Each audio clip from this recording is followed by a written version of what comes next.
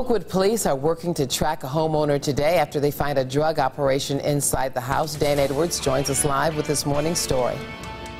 Oakwood safety officers tell us they were originally called to the house on reports of uh, abandoned animals, but once inside, they found a marijuana grow operation.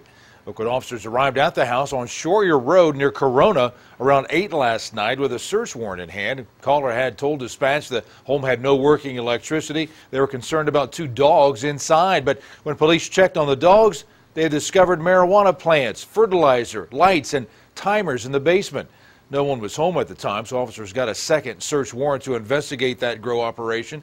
Talked to Captain Alan Hill at scene, and he tells us that they encourage people to get involved, and if you see something, say something.